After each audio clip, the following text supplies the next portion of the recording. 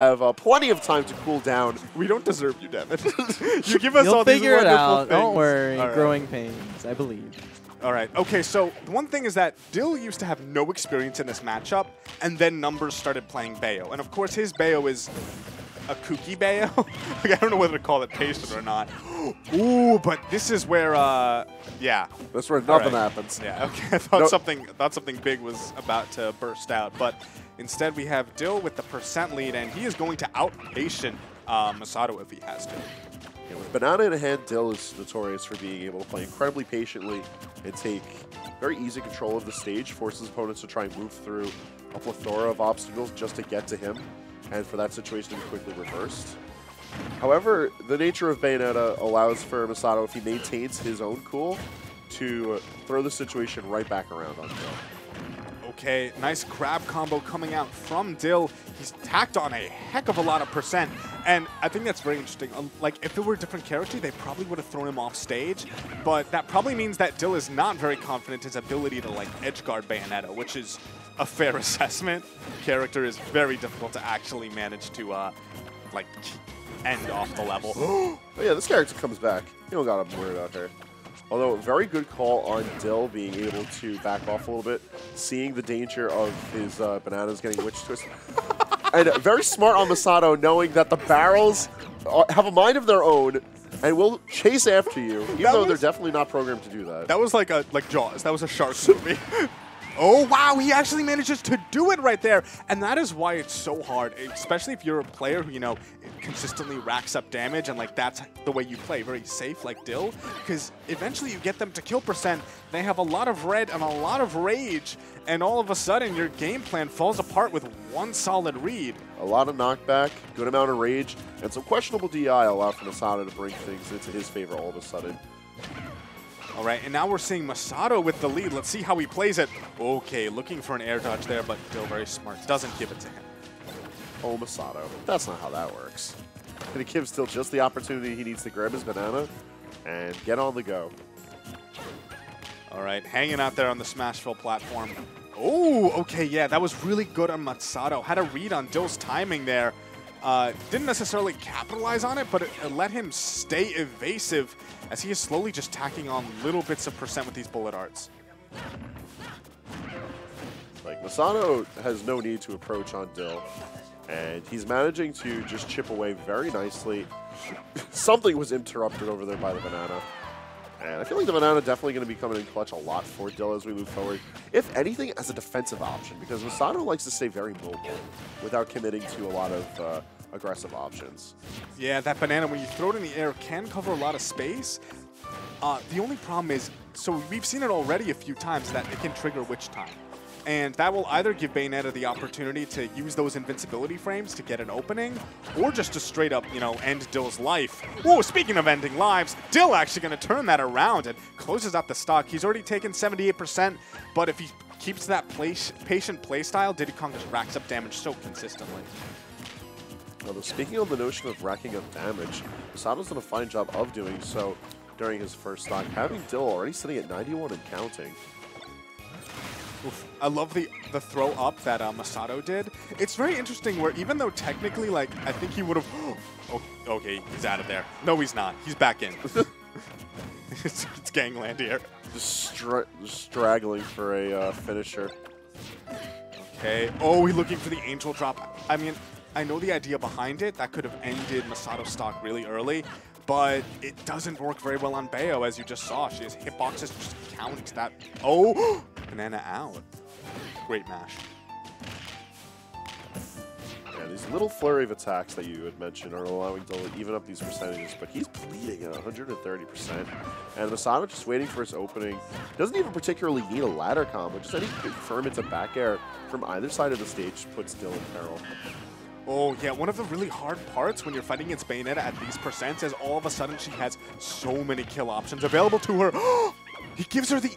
Okay, he gave him the air dodge, but what the, with the drift, he wasn't able to uh, really land the up air. But all of a sudden, we're looking at a very even game. He's going to have so much lag. That's it. An amazing comeback from Dylan. You see him shake it. He... I don't think he thought he was going to take that one, based on his expression at the end of it.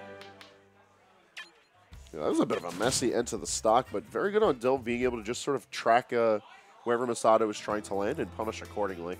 Yeah, and Masato kind of committed too hard because he kept on using his specials to, you know, delay him coming back down to the ground. And eventually that meant that he would have a whole heap of landing lag if he were to come down. Dill, knowing that, just throws out the uh, I'm glad you could finish that thought, but like just looking at Masato's face, that that is a man who was just not having it for like a good 20 seconds, just straight face. There, there, he's right back to not having it. Like, ooh, ooh. Sorry. That's enough monkey business. Back to game two. Well, let's see if he'll have it this time around. Uh, we are getting the clean slate, and but remember that stock one when Dill had the percent lead, he was so good at maintaining it. Uh, and Masato needed that big read to close the stock out early. Uh, I'm not sure if necessarily he's going to need that same, you know, big play. But right now, we're already, uh, is just tacking on this damage. Oof! Yeah, not quite the big combo that I think Masato was hoping for. Yeah, right now I think the game plan is just survival. Allow Masato to get himself back calm and collected, try and bring the uh, game two to a different result.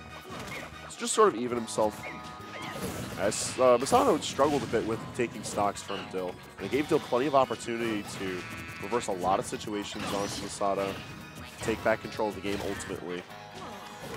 But considering how back and forth game one was uh, at the end of it all, I could see this being another nail-biter of a game. Oh yeah, especially considering that this is actually closer than game one was by this point. Okay, here maybe is the big opening. A lot of damage, but you know, we've seen that Dill needs a lot of. oh, he went for that really hard charge on that. He knew that he wanted, like, he really needed the kill, but that extended maybe a little bit too hard. He gave up some possibly precious damage.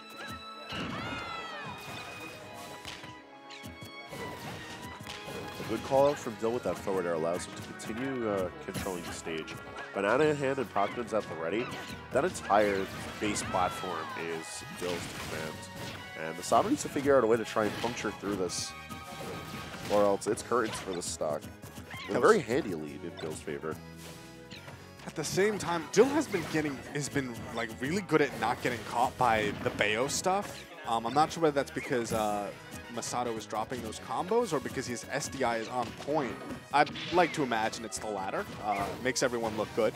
Uh, but at the same time, like Masato has to think up some other game plan for closing out early stocks like this. Ooh, because if he's not careful, he gets caught like that, and all of a sudden, not only does he, not only is he down in percent, but it's down by a whole stock. He has to really, possibly, hopefully he doesn't start fishing for the kills, but you know, when he's down by this much already and Dill is so good at racking up percent, you just need to make something happen. Just timing the witch time on the uh, banana. Masato not able to pull out anything. And it's becoming more and more of a daunting test to end this stock on the Diddy.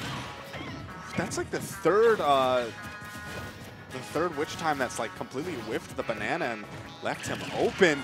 Okay, a nice forward smash for some solid damage. And putting him once again on the ledge. He should make it back just fine, though. Yeah, we're, we're, we're in Bayonetta town here.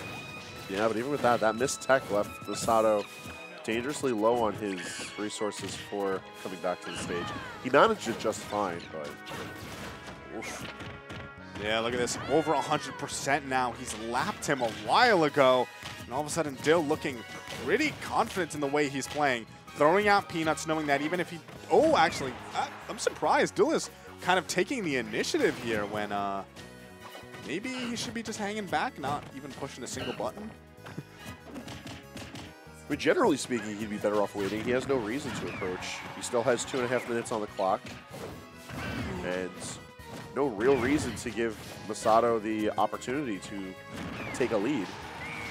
All right, and this is where this is where things get scary.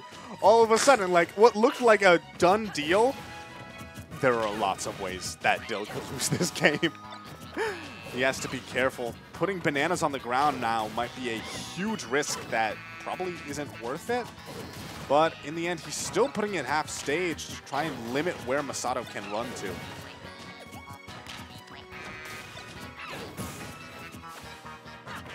Dill moving around and shield a lot is really smart because it's going to allow him to prevent the uh, chip damage from the bullet art extensions that Masato's trying to chip away at.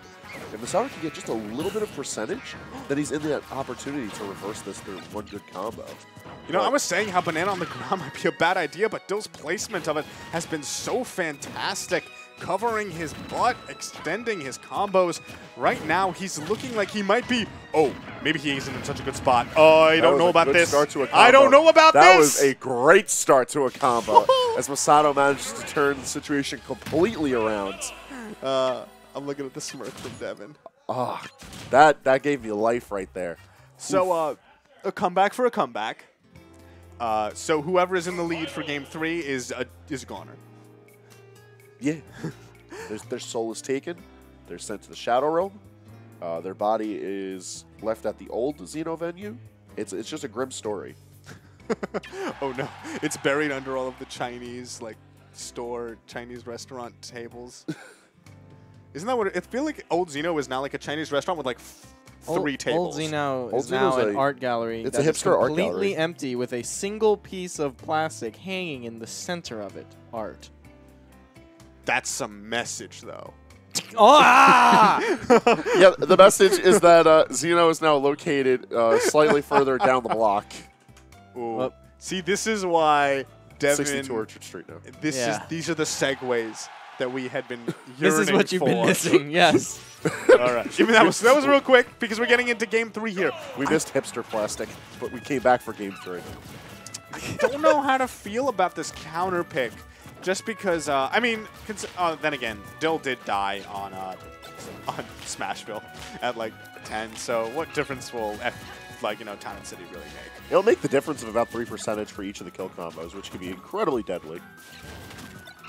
I'm just saying. No, no, I You- understand you, that you saw, well. You, you saw a public execution of a monkey occur at like 16%. I know, so I'm saying that like. Maybe he's just like, eh, I'm a goner as soon as I get hit by that move, so might as well go to a stage that'll let me kill off the top also. Okay, right now we're seeing uh, a little bit. This is similar to like game one and two. Dill coming out with an early lead, um, but yeah, already we've seen that that early lead means nothing by the end of the match. okay, that isn't pre-patch. The afterburner kick in the air is not necessarily the um, the most lethal option nowadays. Yeah, Bay- Bayonetta definitely still a terror in the skies, but not nearly as uh, as demonic as being able to just get a kill off of one spare hit. I don't know, maybe I'm desensitized to Bayonetta combos, but I feel like if you watch carefully to how someone responds from the first good hit, then you can see where the combo is going to get nasty or not. Then again, Bayos have tons of way of mixing things up. You know, because I've seen players where it's like I thought they were okay. All right, all right. So let's talk about this. Let's get back to this match because Masato is down more than we've ever seen him so far this set. This is only 27% on Dill. If this were any other player, I would call it a wrap. But right now, he's a, you can see the fight is still in him because he knows he has a win condition. Oh, Oh, trying to put on that extra pressure, but it ends up costing him as Dill gets that one little extra hit. And when you're down by this much, every you can't be trading, you know. Yeah, at this point in the game, Masato needs to worry about just going for damage, and then if the opportunity arises to try and take Dill somewhere. I don't know if off the top is currently the option, especially as we sit in the uh, the platformless section of Town and City, but taking command of the stage is definitely something that Masato needs to do if he wants to have any hope of taking this match back into his hands and ultimately taking the set. Okay. Right now, these two players very patient. Neither one of them wants to commit or pull up, like overextend. Okay, that banana down throw, not actually uh, going to connect the forward smash, but big meaty hit from Masato. Right now, I don't know. I, I okay, well, okay. I was about to say that at any point they can open them up, but yeah, we're we're sort of in the static phase. And just quickly reacting to the trips, just gonna go for a simple toss. Get the damage you can from that throw. And here we go. This is what Masato has wanted this entire set, but it's not going to kill. He recognizes that and decides to take him off the top himself. Uh, what you said, it's not going to kill, and I, I was just like, mm? But uh, that the up smash did not kill, but instead See? Masato convert, converting beautifully. And that's what, you know, we were talking about before about the banana. And this is actually a better position technically than game two was. And Masato still took that. So, yeah, Dill cannot get comfortable. He has sort of more options now that we have Town and City where he can kill off the top with up air a little bit or easier. I think up smash definitely would do it at this point. Uh, that being said, that smaller ceiling means he needs to be even more careful.